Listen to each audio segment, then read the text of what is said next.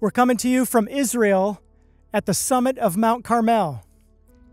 Behind us, the Jezreel Valley in all its glory. Significant events happened right here on this summit. Today, we want to talk about Elijah the prophet and his showdown with the prophets of Baal. Of course, you remember this Bible story. There were about 450 prophets of Baal right up here. And Elijah challenged them and said, Hey, let's build an altar. Whichever God responds with fire from heaven to consume the altar, that's the God that we should be following. So they did just that. The prophets of Baal built an altar of wood with a sacrifice on it. And they started to go through their normal customs of, of cutting themselves, of dancing around. All day they did this, raving, the scriptures say, crying out to Baal to please consume their sacrifice. But nothing happened. So Elijah mocked them. He said, Hey, keep going. Maybe your God's out busy doing something else. Maybe he can't hear you.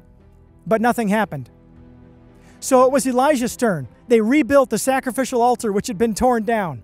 And so he instructs the people pour multiple gallons of water all over this sacrificial altar. And they do so, and it becomes drenched. And then Elijah prays, and the God of Israel, the God of heaven, responds. He calls down, he sends down fire from heaven, and the whole thing is consumed. It's at that point that Elijah tells the people to pursue and to kill the 450 prophets of Baal. So they rushed down the mountain, probably where I am right now. They went all the way down here to a little stream down there called Kishon, and that's where they breathed their last. This story is useful for us today because we also have a decision to make personally. Is the God of Israel the real God or not? Is the God of the Bible the one true God or not? If he is the one true God, then according to Elijah, we need to be following him in obedience.